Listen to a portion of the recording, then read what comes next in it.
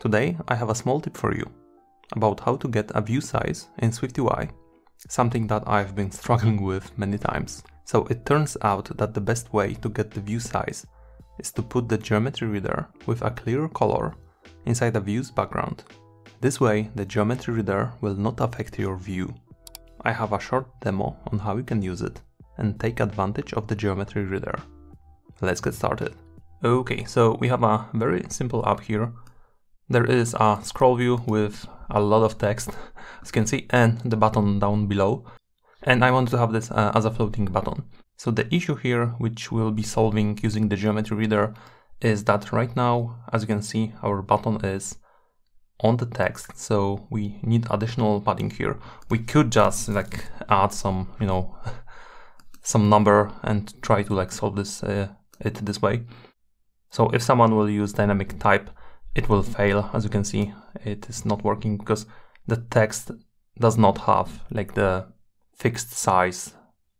So the idea is that using the geometry reader, we can get the height of this button and put it inside here for this bottom padding.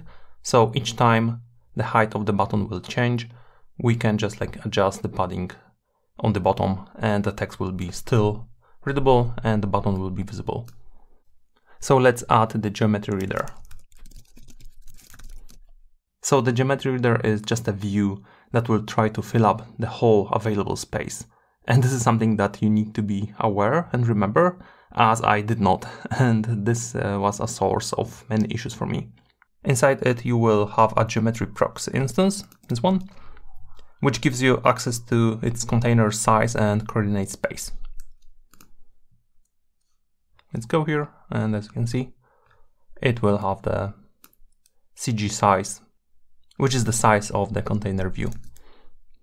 So right now when we will try to put the button inside the uh, geometry reader, as you can see, button is up here. It just like, so it basically went from the bottom position to the top. So yeah, what's happened here? Uh, we can add the border to be able to see how big the geometry reader is. And as you can see, this is the whole space that geometry reader took because it will try to fill up the whole available space. So this is an issue and I uh, many times like failed trying to like incorporate geometry reader the wrong way. So the best way to use the geometry reader is to put it inside the background or maybe the overlay because background and overlay it will be like the size of the view that you would like to use. So in this case inside the button. So we can just get rid of this. Yeah, we can also get rid of the whole geometry reader at this point. And for the background, Let's create background and put here the geometry reader. So inside the geometry reader, we need to add some kind of view. So usually uh, the best way is to just like put a color. You can put a clear color, so it will just fill up the whole space, the available space of the button. If you will put additional color, you can see the background here. So the geometry reader filled up the whole space that's available for this button. So let's add the clear color. And right now inside the, so inside the geo variable, inside the size, we can have a height of this view. So let's print this and see what is the height. To do this, let's uh, open this inside the simulator. So the app has been loaded and as you can see, this is our height. So right now we can create a state variable and put this height inside the state variable.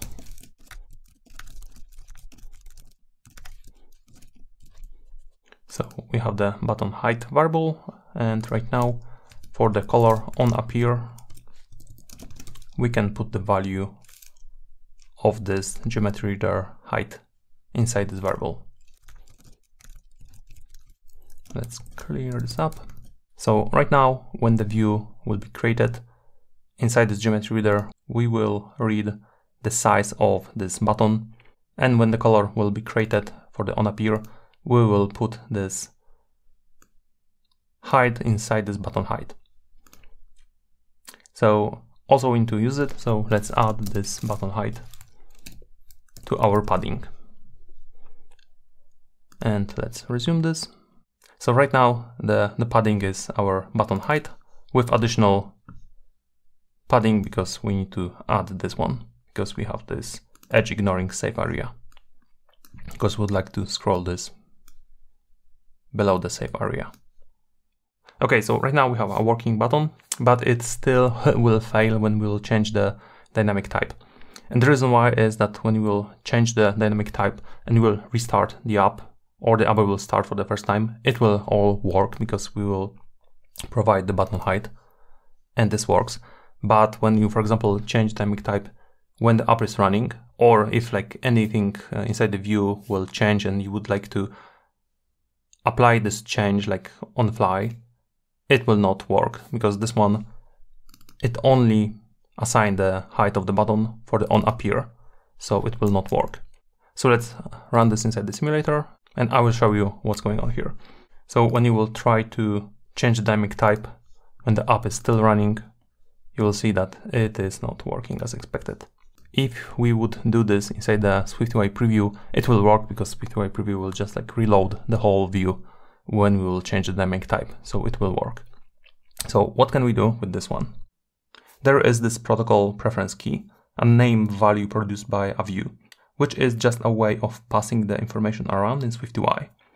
This way we can create a struct that conforms to this protocol, and when the value will change, we can read it and pass this to the button height. So because this is a protocol, we need to create our struct. It needs to conform to this preference key. And yeah, as you can see, the preference key, we can go and check the documentation. It has this default value. We need to uh, set the associated type and using the reduce, it will modify the values on the fly. And the easiest way is just to like use Xcode to, to fix this. We can provide the CG size because our value here is the CG size. And then continue. And we need to pass the default value which is basically a zero. And for the reduce we don't need to add anything. It will be handled by the by the system itself. And as you can see the in-out parameter is the cg size and we are getting back the cg size. And we actually don't need to have this type alias. It will work as expected without it. Let's clean this up so right now we can use it here on our color and let's add this preference and for the key, we need to use our view preference key as a type, so we need to pass the self. And for the value, we just need to read the size of this geo proxy. So each time our button height will change, we will read this inside the geometry reader. The value will change and we will pass it to our preference key. And this way we can just read this in different place and for example in this case pass to our button height variable. To do this you need to call this one on preference change and we need to pass the, the key so view preference key and we have the new size. We can print this and check how this works. Let's build this. Let's open our simulator and let's change the dynamic type. And also we need to open the console. As you can see, the first one, the initial value is here when we will change the dynamic type and start, you know, changing this. Each time it will print the new value. As you can see, the height is 200 right now. So yeah, let's use this. Let's set our button height to the new size, the new height. And let's build this. So right now our button, button looks good. We change the dynamic type, scroll down, and as you can see, it works as expected. Each time we are changing this dynamic type, the value of the, the button height is being updated, so our text, the padding is in the right place. Okay, so it works as expected, and because we can use this in many different places and this is like probably something that you will be using in many places we can create an extension for this. So yeah let's create an extension on the on the view. So yeah let's move the the background here. So we will return the some view. Let's do this. So let's add on preference change. We could actually also move this one, uh, but we need to change this a little bit. So we have this on preference change, uh, but we need to add the perform here. And as you can see, the perform needs to expect this uh, closure. So we need to add additional closure, the one that we will be called each time this will change. So we basically need to have the CG size and void and this one needs to be escaping. So let's put this one here and we don't need this. So each time here the preference change will be called on this type. We are just performing this closure. So we are passing the CG size. So right now we can just remove this one and replace this with our new extension, the get size. So yeah, we have the size. We can just apply this as we did before. So the size and the height. And yeah, let's run this and see if this still works.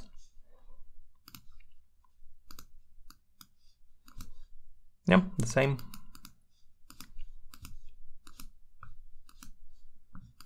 So if you will be using this in many places and you probably will be, you can just use this new extension. I bet that now getting a view size will be a little easier for you. That's all what I have for you today. I hope you enjoyed this video. Please consider subscribing for more videos like this. Thank you for watching and see you in the next one.